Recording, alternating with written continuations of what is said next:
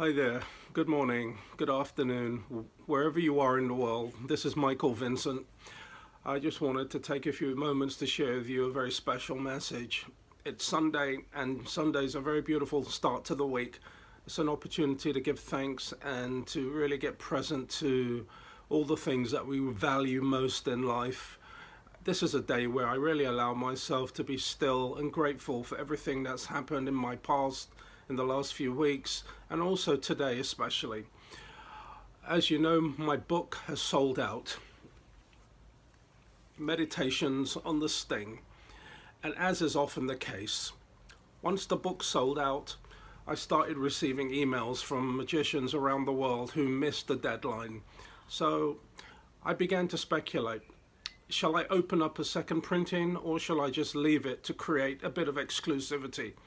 And I thought, what's the point?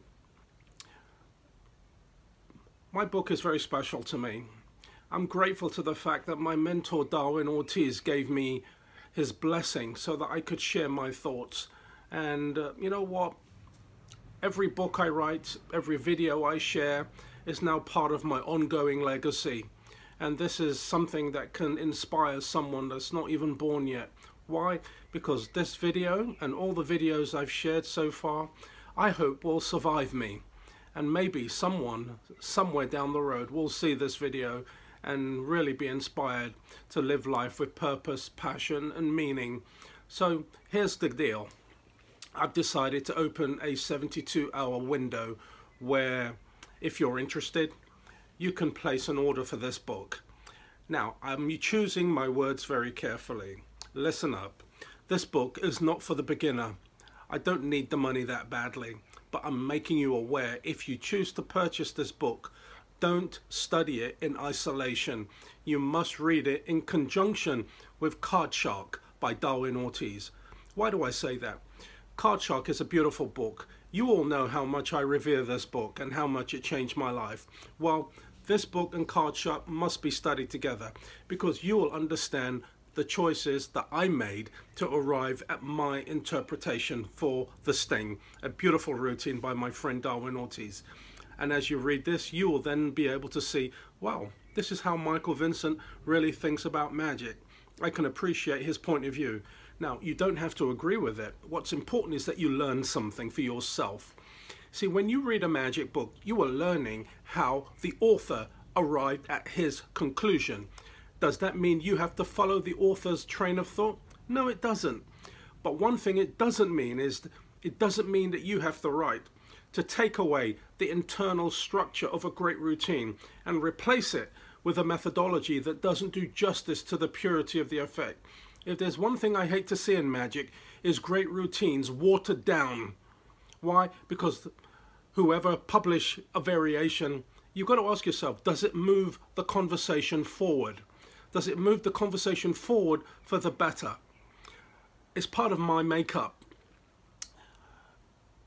If I choose to work on a routine, I will learn it exactly as taught.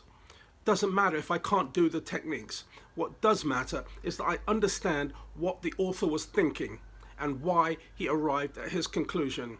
Now, in many cases, I've mastered the techniques. But does that mean this is the right approach for me? What's my style? What's my muse telling me? And my muse is my spirit. It talks to me all the time. Mike, try it this way. Test it. See what the audience think. More often than not, the audience have guided me into an interpretation and presentation that works for my natural, authentic style of delivery. And when I perform, uh, when I perform the sting, I can guarantee you it's not Darwin Ortiz performing it. It's the Michael Vincent experience. Why? Because I'm not a gambling expert.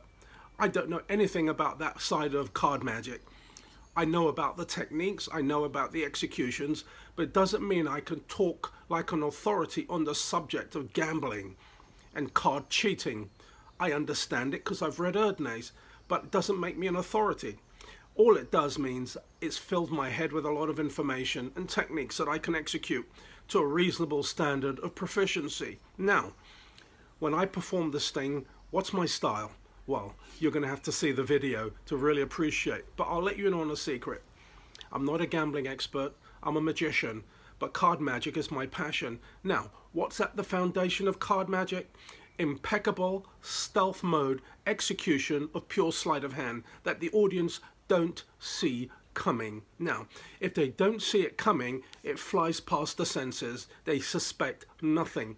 And all that remains is the result, the impact of the magic moment. Okay? And if they don't suspect that you've done anything, it just means you've created an extraordinary experience if you can match it with a beautiful presentation that does you justice. So this is what this book is about, my friends. I have a question for you and I'm going to challenge you here. What kind of card man or card girl do you want to be? Do you want to be known for flashy cardistry skill? Do you want to expose your sleight of hand ability? Or do you want to entertain your audience with the most profound magic possible? Or the most exquisite demonstration of skill?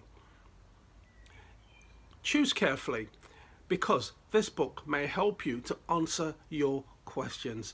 I'm here to tell you and I'm here to support you to unlock your heart so that you can discover who you are for yourself, your families, and your audience. Because once you know who you are, you will never have to copy anybody in this world. You'll be an original. Because let's face it, what does the world need from you that only you can give? It's only one thing your passion, your heart, your self expression. Think about all the great people in history who had the guts to stand up and say, This is me. Look at Gandhi, Muhammad Ali, John F. Kennedy, Malcolm X. Great people. Okay? They stood up on the world stage and said, This is me. This is my point of view. Okay? When we step out in front of an audience, what are you going to say? When I step out in front of my audience, this is my conversation. I want my audience to think and feel I'm the best magician they've ever seen. I may not be the best in the world, just the best they have seen. That's good enough for me. So I challenge you today on a beautiful Sunday, think about this conversation. Think carefully about the journey and the direction that you are going to walk. Join me on this conversation. Let's walk this path together, hand in hand, like brothers and sisters, because the craft of magic needs us. It needs more authentic and committed voices so that we can bring the craft of magic kicking and screaming further into this century. We are now standing on the shoulders of giants, Vernon, Slydini, Goshman. Okay, so we must be worthy and let's build our shoulders strong enough so that the next generation can stand on our shoulders. If you're down with me with this program, click on the link below. Okay, take a look and see what the fuss is all about. If you're inspired, make sure you place your order by end of today because tomorrow it's going to be closed down and there'll be no more. I am holding myself to a high standard here. By tomorrow morning, the link will no longer be active. So take action. I look forward to serving you. Have a great Sunday. Okay. And remember the magic words. La vita bella. Cheers. This is Michael Vincent signing off.